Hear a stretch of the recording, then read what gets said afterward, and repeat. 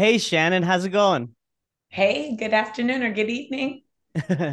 evening over here, uh, right. Texas time, six central. Um, you know, we record these in the evening time. You know, given uh my my crazy schedule with work, my full time job. But I appreciate you coming on. I'm really excited to talk with you this evening about your role um as VP of Global Sales at Boveda. Yeah, I'm excited to talk to you too. Anytime we can get a chance to talk to other people in the community, we're we're open to that. So excited to have a fun uh, conversation about cannabis. Absolutely, and you know it's it's actually really timely because my Boveda 10 pack actually just came in the mail.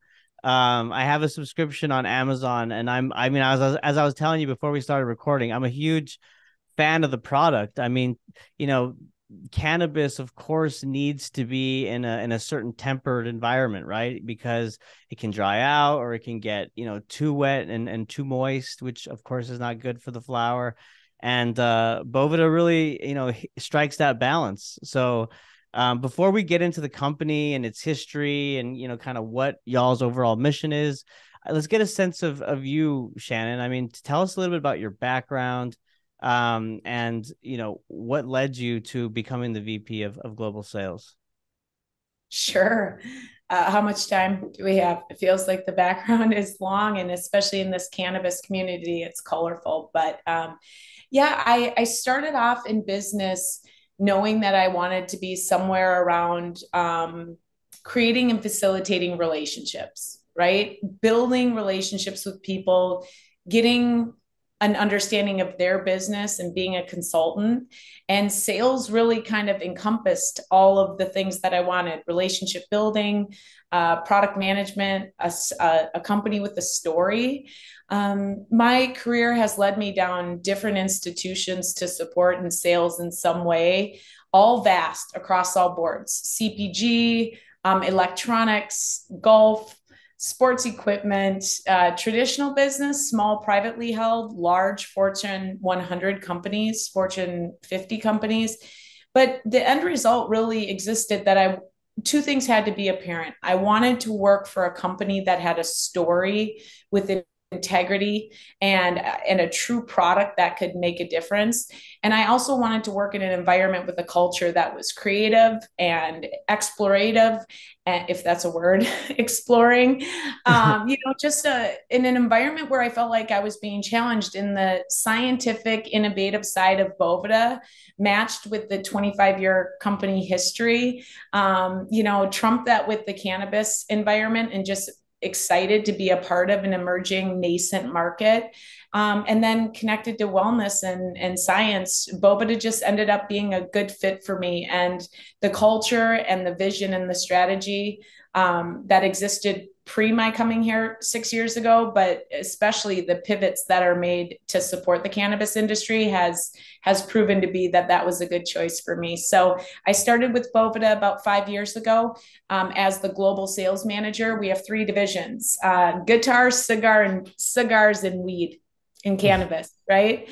Moisture dependency started in the cigar business. So when I came over to Boveda, I was supporting all three of those business verticals. And about three years ago, we made the decision that it was really important that we isolate the cannabis environment from a executive standpoint and really focus on that at a global level. And because of that, I had to step away a little bit from cigars and musical instruments, but still a fan of those two channels. And they definitely um, complement the cannabis side.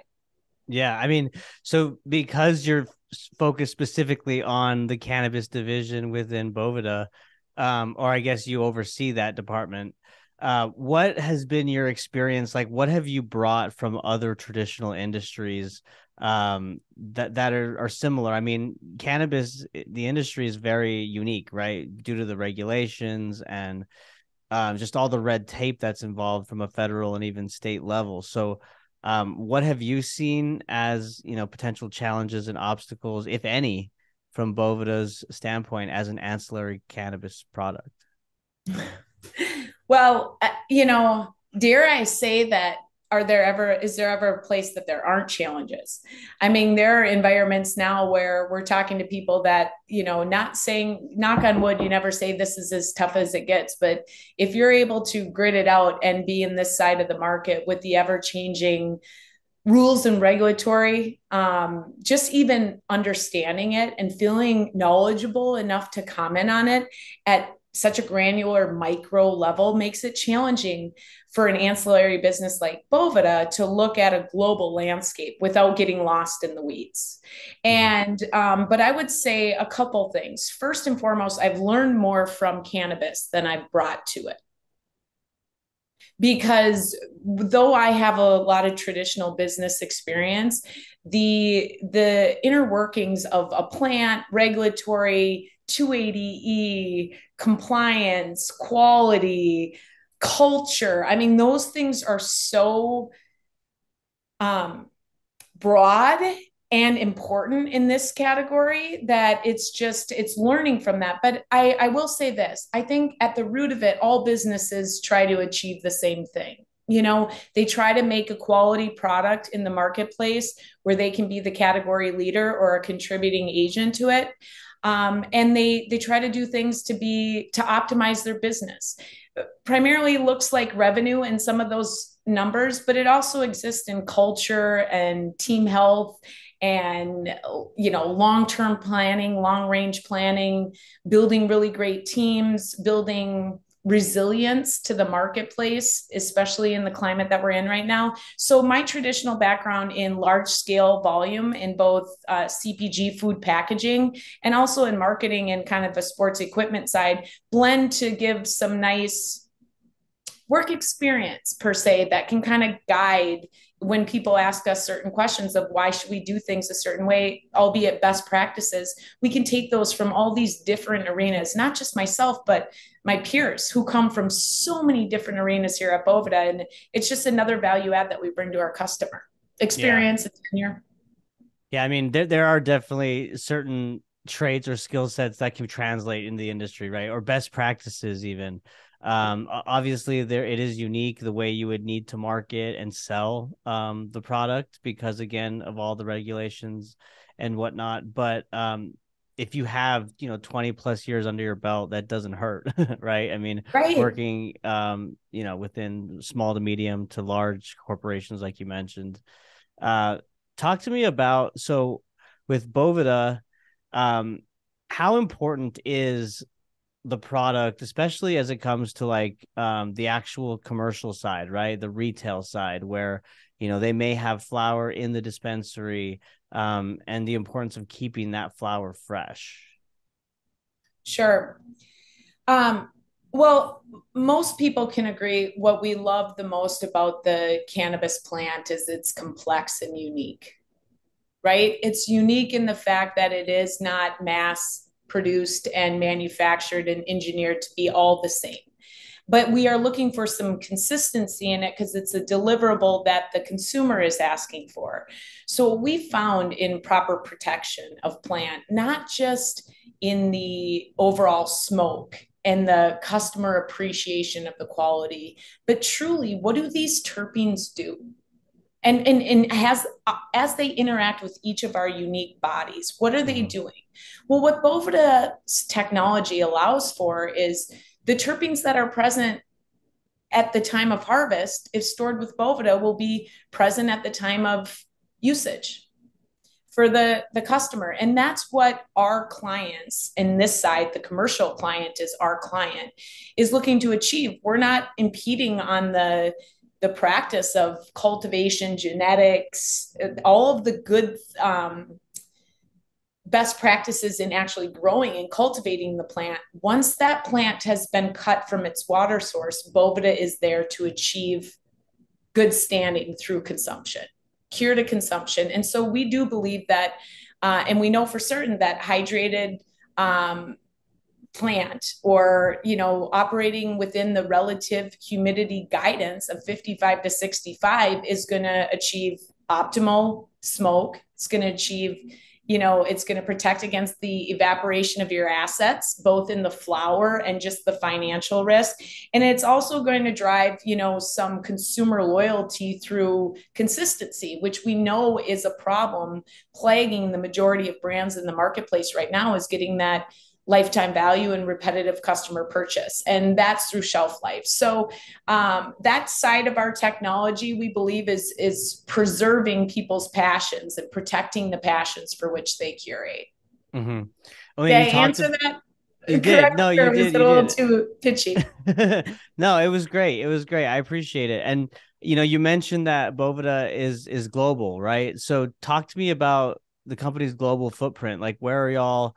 You know, really um, have market ownership? I mean, you know, where are you seeing uh, strong sales um, outside of the U.S.? I would imagine the U.S. is up there.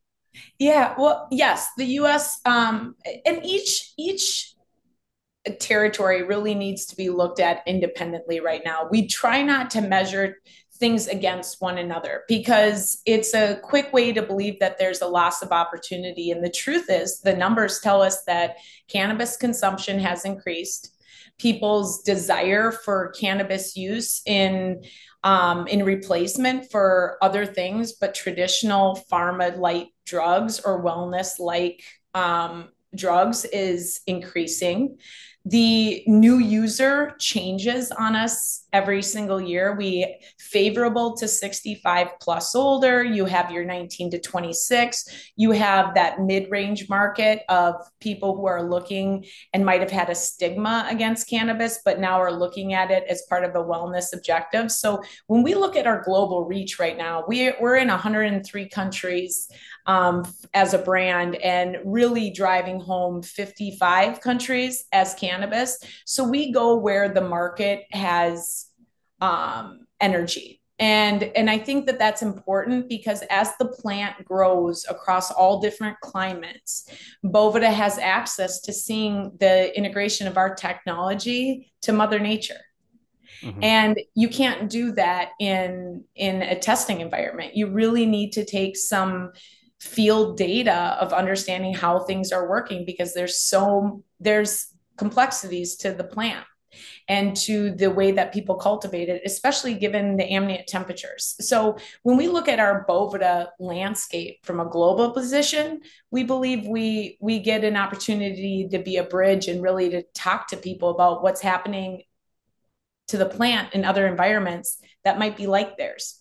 Mm-hmm. You know, what are you going to find from Colombia that you might use in the States? What are you going to use from Colorado's dry climate that you might use someplace else? We're constantly using these other forms to provide better guidance to our customers. And I think it it, it provides us to be in access to global cannabis, even though it's it's a little higher level at the water activity level to give people some understanding of the plant.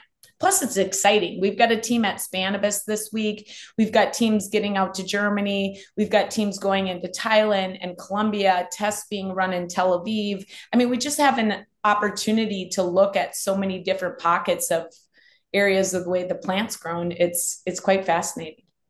See, and that's what's interesting to me, right? I mean, because it's all about data these days, right? And so it sounds like you being uh, in what you said over we're 103 countries um there's a lot of data there's a lot of you know information that you're gathering like you said in terms of uh, climate and g- growing and you know soil i'm sure all this this kind of stuff so how are you I'm I'm specifically curious about how you're tracking like intent of purchase, right? So like, you know, you mentioned that you have products that cater to cigars for, you know, humidifying purposes, uh, musical instruments, cannabis as well. And when I purchase my pack, there's, you know, there's a certain I recommended a certain um, number, right, on the package that is geared toward the product. So is that kind of how you're initially tracking intent? I mean, is there other ways?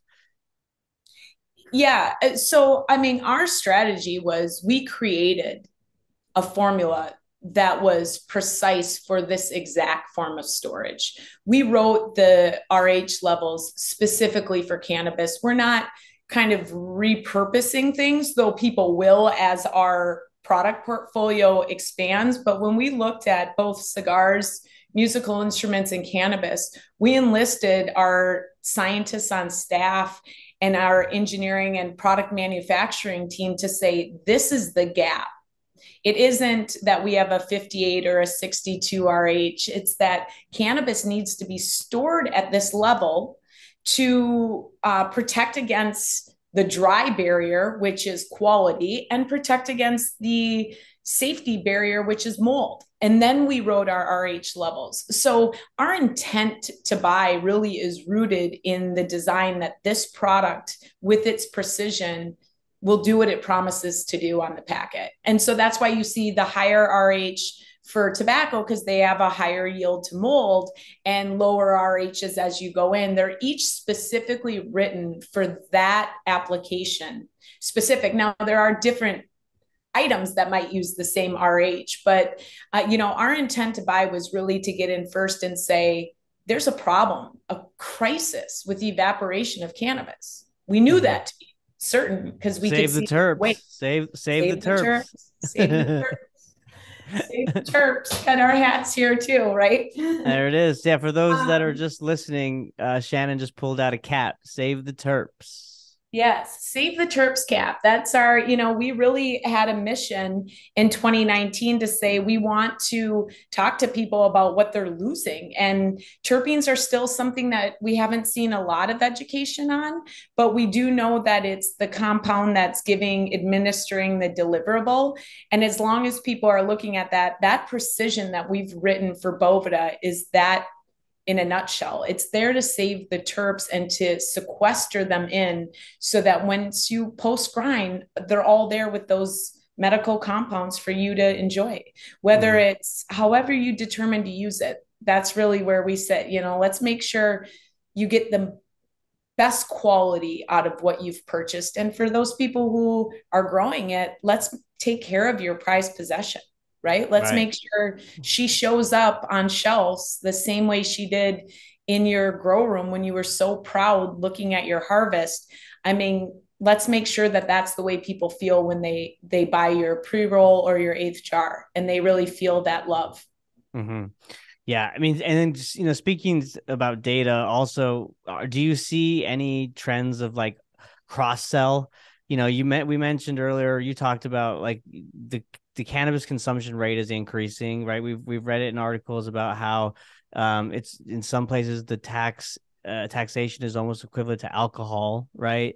So, are you seeing like cigar smokers, like maybe start buying these these cannabis RH level packets, uh, you know, to preserve their cannabis? Absolutely. I mean, I think we would be.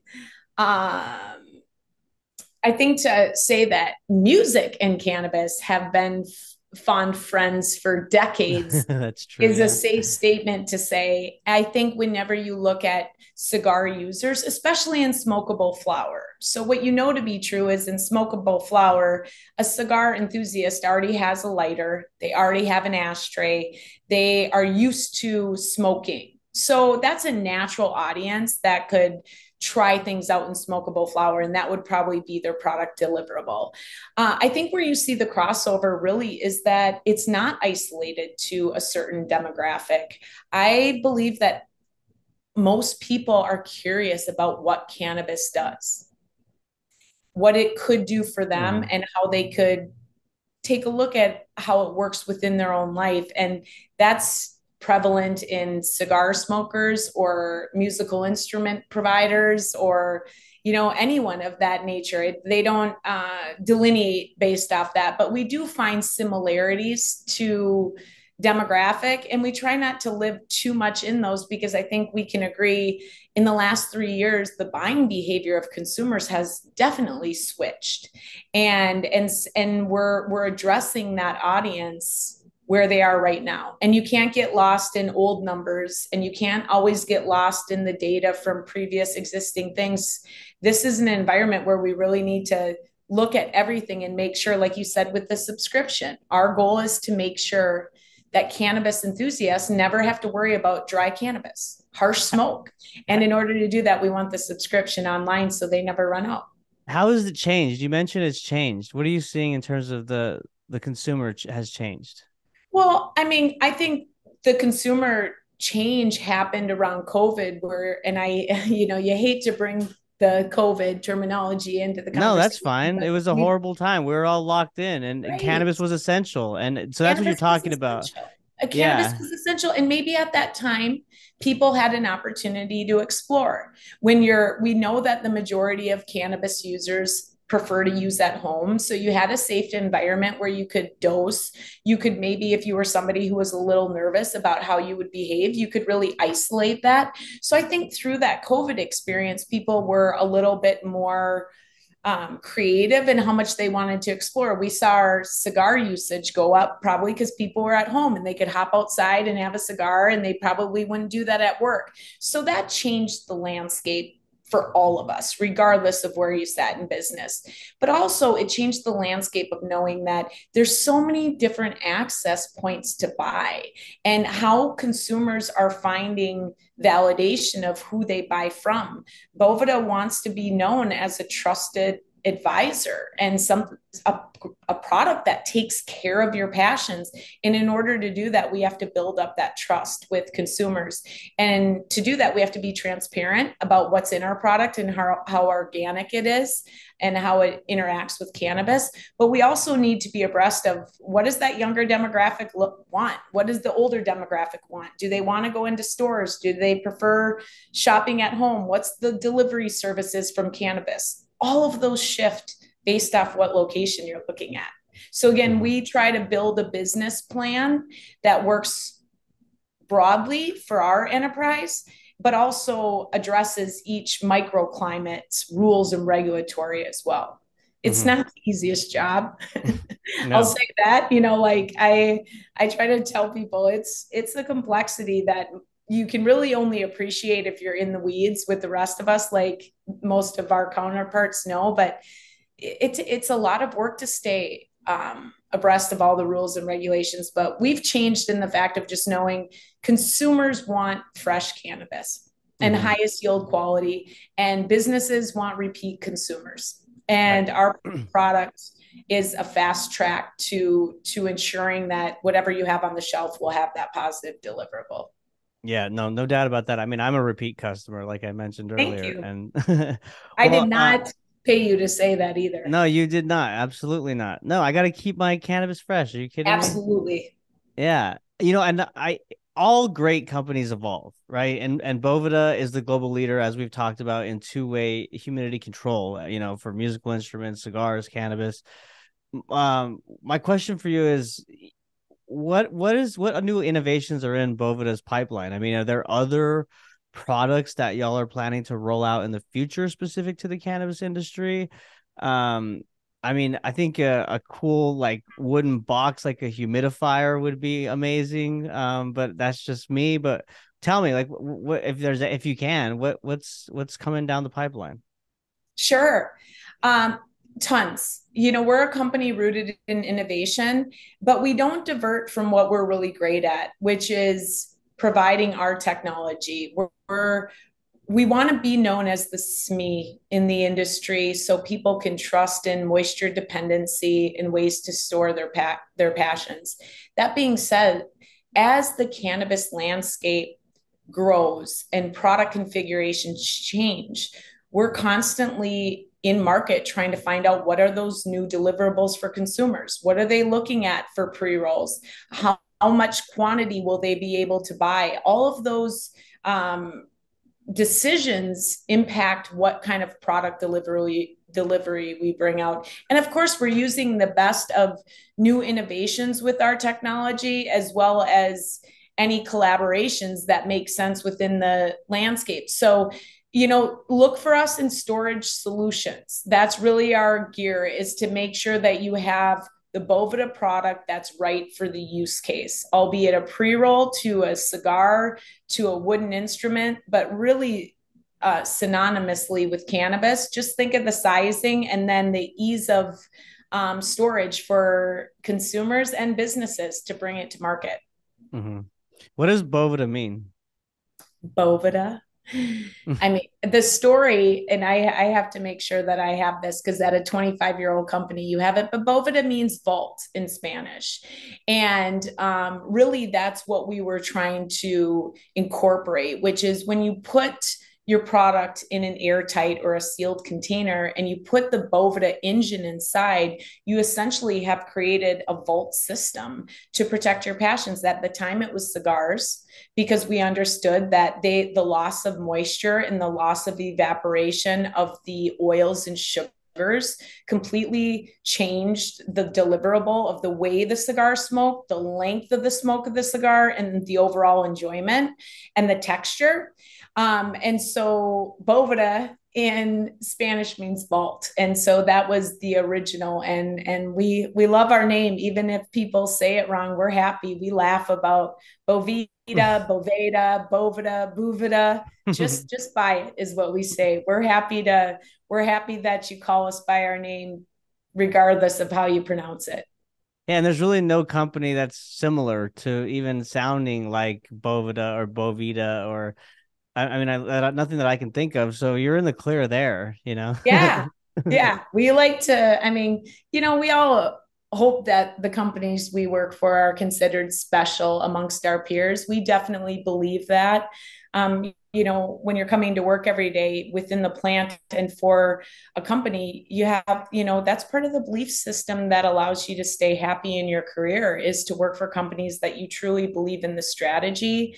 Um, the technology, the culture, um, the mission statement. I think we all look for businesses that we can feel proud about who we work for and the people for which we serve. And I can say that to be true about Boveda in both instances. Proud of the company I work for and very proud of the people I serve in the cannabis community.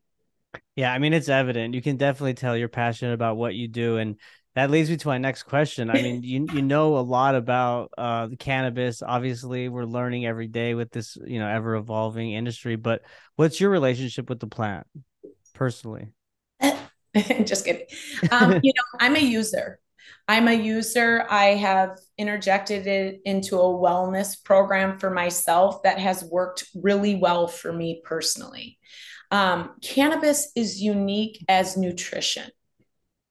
And the more we can understand that it isn't a single path for anyone, it opens up the environment to really allow yourself to have your own personal diagnosis using doctors using reading literature having fun with it in you know a recreational sense but really rooting back to saying the majority of users are looking to cannabis because it is going to positively impact their life it did for me it did for mm. me. It allowed me to breathe in a little bit of creativity that I didn't usually see using it in a microdose format and and then at times to have fun but really around an overall wellness regimen um, of cannabis and inflammation overall mood and attitude i mean i could go on about some of the things that i believe it's um, positively impacted my life but i think the way that to look at it is to say what works for you.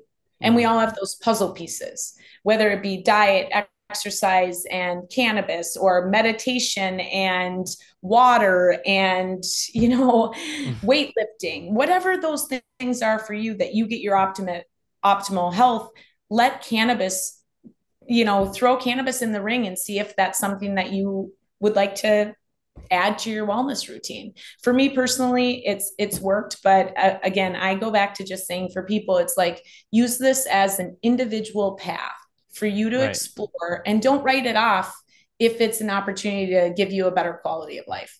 Right. And if you're if you're not a fan of the psychoactive properties that THC gives, then you know look into CBD or you know um, another you know compound within the cannabis plant because right. um, there are benefits where outside of just you know getting high and feeling that that sensation i mean like you yeah. said inflammation cbd is great for that cbn is great for sleep i mean there's times when i go to the gym i, I like to to lift weights right so when i'm feeling sore or if i think i pulled something i'm immediately going to like cbd cream papa yeah. Barkley makes a great one you know yeah. so um yeah i mean it's just I, I, I, I, use, I use that. I agree with i agree with you on that. And and you've been in the industry for such a long period of time.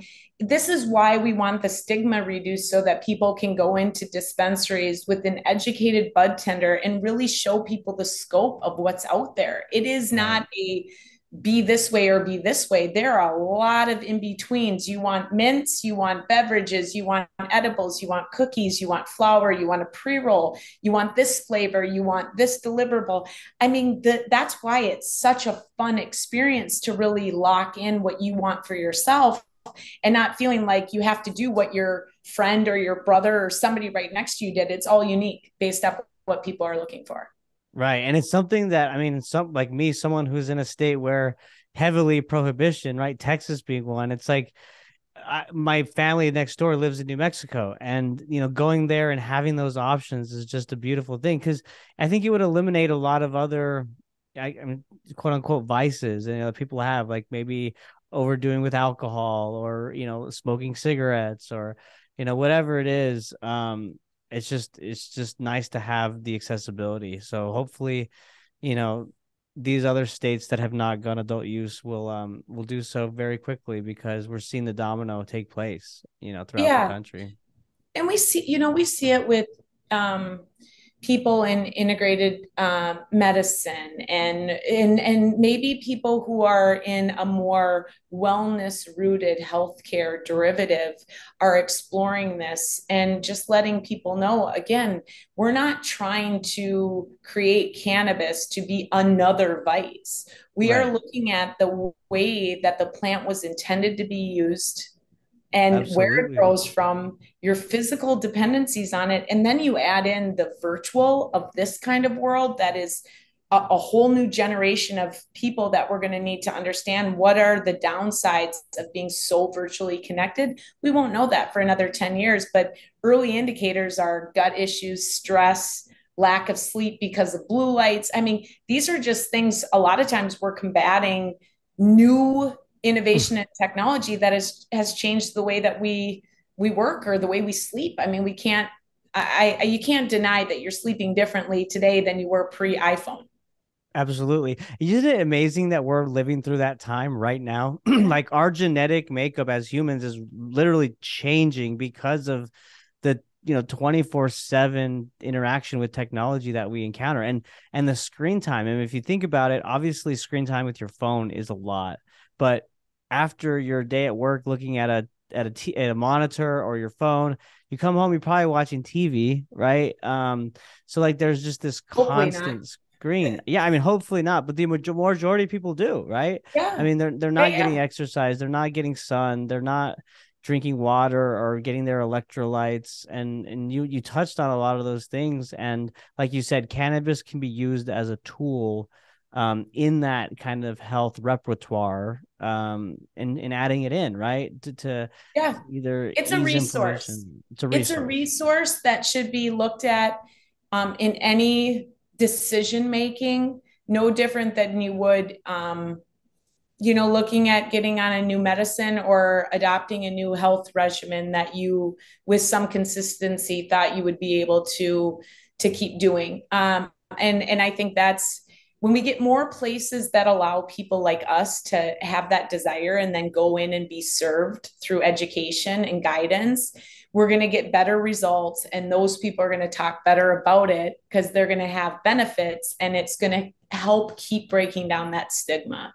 And it mm-hmm. might take longer than all of us had hoped. I thought we all, I think we all thought we would be here today. I mean, if I'm being honest, in 2023, we had built a strategy that looked at legalization by 2023 and we're not there but you know the not even close no but the it maybe maybe sometimes the things that wait are worth it you know there's a sure. lot of things that happen but for surely for Boveda's position, you know, 280E and looking at the tax implications that are really mm. harming the legal market and not allowing them to play fair. And then interstate commerce and safe banking so that we don't have people who are feeling like they need to protect themselves because they have cash everywhere, that's not going to yield positive behavior on even to the best people. We're setting them up for for some struggling times. So if legalization doesn't happen, which we know is going to take longer than we had anticipated, we need to start getting some resources to those people through the forms of tax relief and and just some understanding of what does long range interstate commerce look like so they can mm. build out. Yeah.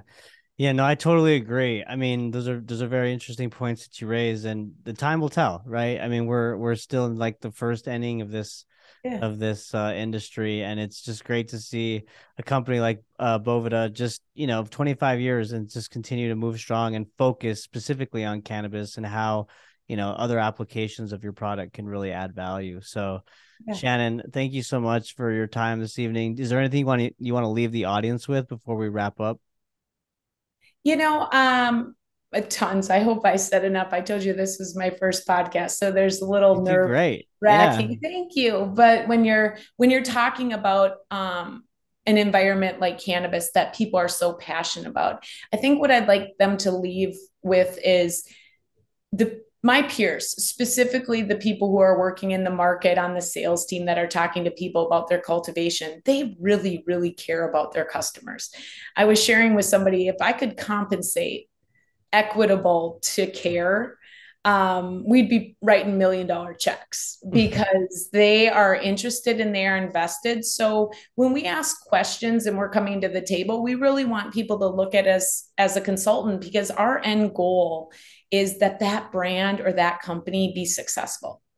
And water activity and Boveda technology is just one small facet, but we're definitely invested in the long the long play on this for our customers to stay in the game and to thrive and to succeed and move through this little glitch in time and really come out on the other side with some some strong consumer brands. And think we're the ones who can say we were we were here in chapter and whether you consider it chapter number one or number two it's the first it's the first 20 pages of the book and and the rest is left to be written. And just really excited about how that how that plays out even in even during challenging times and you know as our ceo would say especially during challenging times this is this is the time to really show um, what you're made of and and and stay the course and do the right thing for the for the customer and for the category and that's what we're committed to at boveda very well said.